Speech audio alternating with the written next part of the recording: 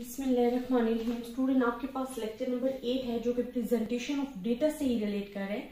Presentation of data से related हम बहुत सारे एमसीक्यूज जो हैं ऑलरेडी प्रीवियस लेक्चर्स में डिस्कस कर चुके हैं।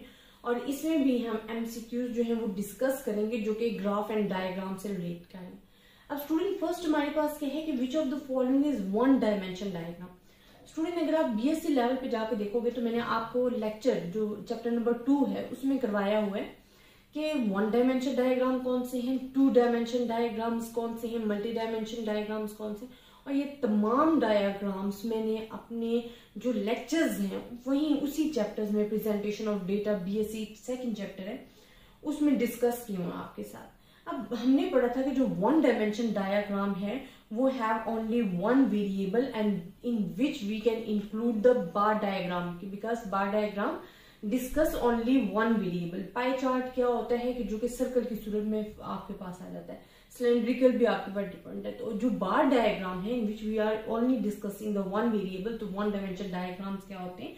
जब ओनली वन वेरिएबल को डिस्कस कर रहे हो तो ट्रू आंसर इसका आ जाएगा बार डायग्राम सेकेंड आपके पास आ जाता है which in which of two dimension diagram two dimension diagrams क्या है स्क्वायर डायग्राम है नो मल्टी डायग्राम या रेक्टेंगुलर है तो मल्टी डायग्राम जो है वो हमारे पास क्या आ जाते हैं टू डायमेंशन में। अच्छा मल्टी डायग्राम में हमारे पास क्या होते हैं? Two and more variables discuss कर, हो रहे होते हैं। तो टू डायमेंशन डायग्राम्स में जब आपके पास टू और मोर वेरिएबल डिस्कस होते हैं तो that's include in the two dimension diagram इसी तरह हम कहते हैं विच स्टेटमेंट इज़ ट्रू आपके पास दो स्टेटमेंट्स दी गई हैं और वो कहते हैं कि आपको क्या लगता है इस स्टेटमेंट से कौन सी स्टेटमेंट ट्रू है? आपके पास histogram and histograms are similar look है। पाई चार्ट या ओजेव जो है वो सिमिलर लुक रखते हैं क्यूब एंड स्क्वायर तो स्टूडेंट आपने पढ़ा है और इनकी मैंने जो शेप्स हैं वो भी बना के बताई हैं। फिर इनसे रिलेटेड आपको एग्जांपल्स भी करवाई हुई हैं। Presentation of data again and again बता रही हूँ। प्रेजेंटेशन ऑफ़ डेटा का जो चैप्टर है बीएससी लेवल पे, आपने उसमें जाके देखनी आपको तमाम शेप्स विद एग्जांपल समझाएँगे तो हम कहते हैं हिस्टोग्राम एंड हिस्टोरिग्राम जो हैं, वो सिमिलर लुक देते हैं। अब ये कर्व जो है, वो अकर करता है कहाँ पे? More than type distribution less than type distribution ये बोथ एन बी तो हमारे पास जो जिव होते हैं in which we are discussing about the cumulative frequencies आपके पास उजेव कर्व में क्या होता है कैम्यूलेटिव फ्रीक्वेंसीज गिवन होती हैं, चूँकि more than and less than वो सिचुएशन डिपेंड करता है और ये ऑलरेडी मैंने आपसे डिस्कस किया हुआ है। दोनों के लिए यूज़ होता है तो हम कहते हैं बोथ ए एंड बी के लिए होते हैं। इसी तरह इन ओजिव कर्व जो है पॉइंट्स आर प्लॉटेड वैल्यू अब जो अब आप कर्व बना रहे हो ओजिव कर्व तो आपने जो पॉइंट्स प्लॉट करने हैं, उसमें क्या दो चीज़ें लेनी है? क्या वैल्यूज़ एंड फ्रीक्वेंसीज लेनी है? वैल्यूज़ एंड कम्युलेटिव फ्रीक्वेंसीज लेनी है या नॉन ऑफ़ तो स्टूडेंट मैंने आपको अगेन बताया कि जो जिव है, जब हम more than and less than की बात कर रहे हैं it's mean cumulative frequencies is use cumulative frequencies क्या होता है? For example one two three four ये आपके पास फ्रीक्वेंसीज है। कैम्युलेटिव फ्रीक्वेंसीज आपके पास क्या होता है? आपने कैम्युलेट करते जाना है फ्रीक्वेंसीज को, इकट्ठा करते जाना फॉर एग्ज़ाम्पल यहाँ आपके पास वन है।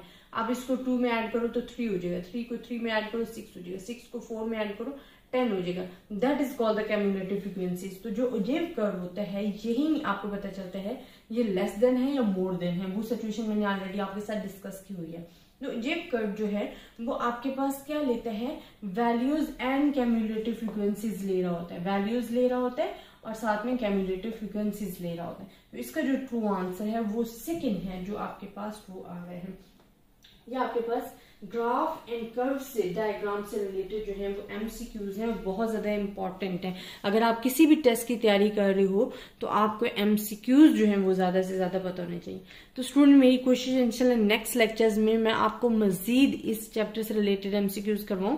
फिर इंशाल्लाह हम अपने थर्ड चैप्टर की तरफ़ आएँगे मेयर ऑफ़ डिस्पर्जन की तरफ़। और अगर आपको कोई भी प्रॉब्लम है इसमें या कहीं से भी समझ नहीं आई तो आप मुझसे देख सकते हो। इसमें कोई भी न्यू चीज़ नहीं है, जो बीएससी लेवल पर मैं आपको पढ़ा चुकी हूँ वही चीज़ें अगेन एंड अगेन रिपीट हो रही हैं। सिर्फ़ अब आपसे ट्रू आंसर पूछा जा रहा है विद रीजन कि अगर आप इस आंसर को सिलेक्ट कर रहे हो तो आप, क्या रीजन है अगर आप किसी भी टेस्ट की तैयारी कर रहे हो, जिस तरह नेक्स्ट आपके पास लेक्चरारशिप के लिए आ रहे हैं स्टेटिस्टिक्स रिलेटेड इंटरव्यूज़ हैं, उनमें भी आप ये तैयारी कर सकते हो। और ये बेस्ट बुक है, आप यहाँ से भी तैयारी कर सकते हो।